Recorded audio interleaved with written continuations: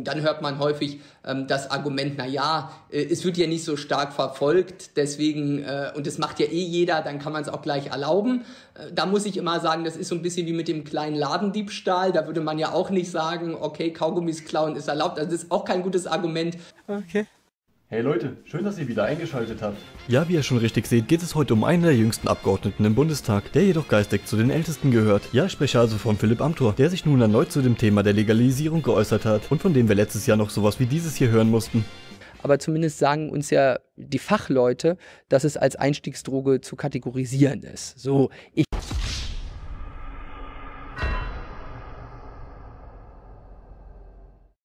Puh, das passiert, wenn die wissenschaftlichen Erkenntnisse noch aus dem letzten Jahrhundert stammen. Obwohl, damals hat man auch schon gar nicht mehr daran geglaubt. Und dann gab es auch noch sowas wie dieses hier. Ich hab gar nichts gemacht.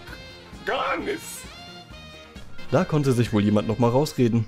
Doch bevor wir in die neuen Aussagen reinschauen, möchte ich nochmal kurz darauf aufmerksam machen, dass über 70% noch nicht abonniert haben. Falls ihr also in der Zukunft solche Fehltritte nicht verpassen wollt, würde ich mich jedenfalls über ein Abo sehr freuen. Aber nun schauen wir auch schon in die ersten neuen Aussagen von Philipp Amthor rein, der im Interview mit Marvin Neumann nochmal das ein oder andere zur Legalisierung zu sagen hatte. Was hältst du denn eigentlich vom Verbot von Cannabis? Wäre eine Legalisierung gerade jetzt oder zur jetzigen Situation nicht gut, da es erhebliche Steuern in die Staatskassen spülen würde und die Ausgaben ähm, für Verfolgung äh, gespart werden würden? Ja, also wundert mich natürlich nicht, äh, dass das jetzt als Thema kommt. Ich weiß, das ist ja gerade äh, in YouTube-Formaten immer heiß diskutiert. Äh, ich will dazu jetzt offen sagen, ich habe das mal so scherzhaft in einem anderen Format gesagt. Ich habe gesagt, das ist jetzt nicht äh, der Untergang des christlichen Abendlandes, äh, wenn man mal einen Joint raucht. Dennoch bin ich jetzt nicht der vorderste Vorkämpfer einer Legalisierung von Cannabis. Im Übrigen äh, glaube ich, das Argument sozusagen der Steuereinnahmen, da bin ich sozusagen als Liberaler dann doch eher skeptisch, weil äh, die Steuern, die haben die Funktion, den Staat zu finanzieren und nicht unbedingt sozusagen die Funktion, äh, jetzt nur zu sagen, ähm, man äh, erzielt jetzt irgendwelche Erträge aus diesem oder jenem. Also das ist jetzt vielleicht nicht das Argument äh, für Cannabis-Legalisierung. Puh, also das sieht die USA mit einem stetig wachsenden legalen Milliardenmarkt sicher anders. So wie auch diese Studie hier aus Deutschland, nach der man auch hierzulande Einnahmen in Milliardenhöhe machen könnte, die dann auch wiederum in dieser schweren Zeit an Leute gehen könnten, die momentan Existenzängste haben müssen. Wie Philipp Amthor das also nicht als Argument sieht, kann ich ehrlich gesagt nicht verstehen, aber schauen wir doch mal in die nächsten Aussagen rein.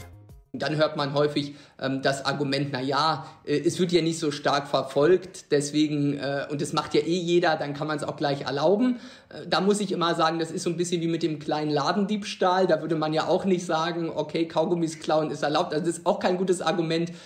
Und da ist er wieder, der ewige Vergleich mit Äpfel und Birnen. Dass Ladendiebstahl, der sich fremdschädigend auswirkt, nicht mit dem Konsum von Cannabis zu vergleichen ist, bei dem man nur sich selber schaden kann, sollte doch eigentlich jedem klar sein. Aber ehrlich gesagt gibt es da auch noch schlimmere Vergleiche aus den Reihen der CDU, wie zum Beispiel diesen hier.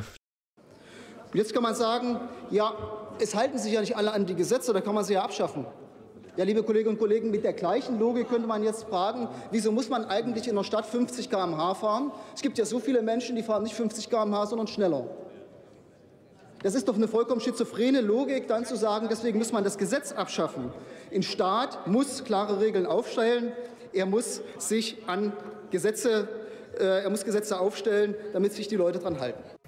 Ja, dagegen war der Vergleich von Philipp Amthor noch gar nichts. Aber machen wir dann mal mit den nächsten Aussagen weiter, die dann wiederum liberaler klingen, was eventuell auch daran liegen könnte, dass die Grünen immer näher rücken und auch eventuell eine Koalition eingegangen werden muss, falls es für die Bundestagswahl nicht reichen sollte. Aber in der Tat gibt es ja ein paar wissenschaftliche Argumente, über die man auch reden kann. Und äh, deswegen sage ich, man muss sich das alles auf der Basis von Wissenschaft und Fakten angucken. Und ich bin da jetzt nicht der dogmatischste Gegner äh, ähm, einer Cannabis-Legalisierung, aber auch nicht ihr größter Vorkämpfer. Aber mal angenommen, es würde jetzt ein CDU-Vorschlag auf den Tisch legen, also der wirklich von der CDU oder CSU auch ausgearbeitet wurde, äh, dafür oder dagegen. Also wo du auch wirklich sagen würdest, das sind jetzt valide Punkte von unserer Partei. Wie würdest du am Ende abstimmen? Würdest du mit einem Ja-Legalisierung oder eher Nein abstimmen? Also es kommt wirklich, und da sagst du richtig, so ist das in der Politik eben auf das Gesamtpaket und auf die Abwägungsfaktoren an. Äh, ich glaube, es kann Konstellationen geben, in denen das geht. Äh, da muss man aber einige klare Kompromisse machen, weil wichtig ist natürlich, äh, dass wir dadurch, und ich bin ja auch Innenpolitiker, da ist man für die innere Sicherheit zuständig, dass wir nicht noch sozusagen jetzt Alternativkonstellationen dann bekommen, dass man sagt, diejenigen, die jetzt Cannabis verkaufen, äh, schwarz, die verkaufen dann irgendwie härtere Drogen. Da müssen wir schon gucken, dass man das in den Griff bekommt. Äh, und wir müssen dann wirklich gucken, dass es unter, ich sag mal, wissenschaftlichen und gesundheitspolitischen Gründen plausibilisierbar ist. Und wenn das alles gewährleistet ist, äh, dann sage ich jetzt nicht, ich stelle mich jetzt hier nicht in die Sendung und sage, das wird so nie im Leben kommen, äh, sondern ich sehe das pragmatisch und da kommt es auf den Gesamtvorschlag an. Ja. Und ich glaube, da wird es auch Konstellationen geben, in denen man darüber dann redet und wie die medizinischen und wissenschaftlichen Kenntnisse von Philipp Amthor aussehen, wissen wir ja auch schon aus den Aussagen aus dem letzten Jahr, wo er noch behauptet hat, dass Cannabis eine Einstiegsdroge sei, was halt schon seit mehreren Jahrzehnten widerlegt ist. Auf welchen Stand er nun ist, kann man aber nur mutmaßen. Weiter geht es dann jedenfalls mit Aussagen über den wachsenden Druck auf ihn, der vor allem von Schülern oder von YouTubern wie mir kommt. Das muss man wie bei vielen Themen, natürlich ist es emotionalisiert, ist klar. Mich fragt jede Schülergruppe, äh, die ich zu Besuch habe hier im Deutschen Bundestag aus dem Wahlkreis, da ist natürlich Cannabis Legalisierung ganz weit oben als Thema und insoweit sehe ich auch, dass es da gesellschaftlichen Druck gibt, das zu diskutieren. Und, äh, betrifft ja auch nicht nur junge Menschen, ne? also es, es, betrifft ja auch, auch durchaus ältere Menschen, auch Menschen mit Krankheit oder bei denen das, das auch, es ist ja medizinisch ja schon äh, in gewissem Maße. Da gibt es ja auch die Möglichkeit des, mit der, der genau. medizinischen äh, Nutzung ja. und ansonsten ist es glaube ich aber schon so, dass es sozusagen bei Schülergruppen und in YouTube-Formaten jetzt intensiver diskutiert wird als äh, irgendwie in anderen Formaten. Aber es ist auch gar nicht schlimm, weil am Ende äh, gehört das auch dazu und insoweit nehme ich das auch jetzt nochmal aus der Community mit als Appell. Ja, da hat er wohl recht. Also hier auf YouTube werden wir uns seine Aussagen auf jeden Fall auch in der Zukunft ansehen. Und auch die jüngere Bevölkerung schläft nicht. Aber ob es in der Zukunft noch Gespräche innerhalb der CDU geben wird, werden wir dann in der Zukunft noch sehen. Zum Ende hin gibt es dann jetzt noch meine Aussage über seinen Skandal, den er wie er sagt zutiefst bereut. Auch wenn er natürlich nichts falsch gemacht hat. Also zumindest rein rechtlich gesehen. Aber ob es moralisch auch so ist, ist dann nochmal eine andere Frage.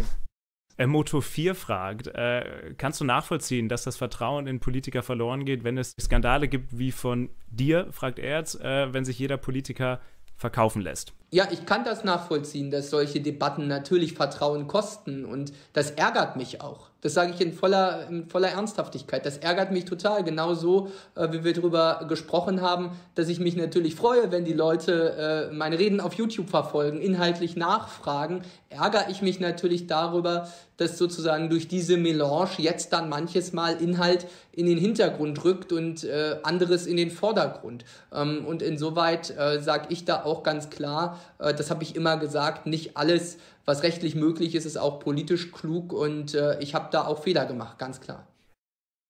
Ja, und das waren dann auch schon die letzten Aussagen für dieses Video. Was ihr von den Aussagen von Philipp Amthor haltet, könnt ihr mich jedenfalls wie immer in Kommentarform wissen lassen, sowie mir auch Themenvorschläge auf Instagram schicken, wo ihr mich einfach am besten erreichen könnt.